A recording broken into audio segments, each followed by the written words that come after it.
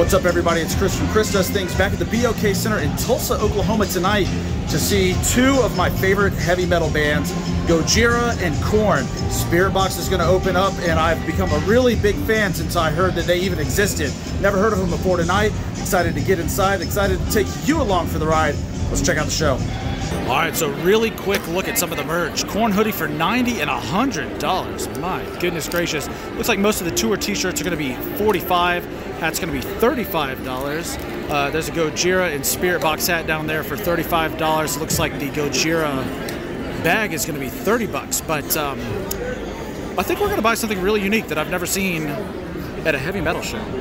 That's right. For $15, we got Korn's very own hot sauce called Here to Slay. You get it uh, here to stay, here to here to slay. Anyway, it's by Heatonist, which uh, does a lot of the hot sauces from the YouTube show Hot Ones. So we're gonna have to give this a shot and let you know how it is. In the meantime, got Spiritbox up next.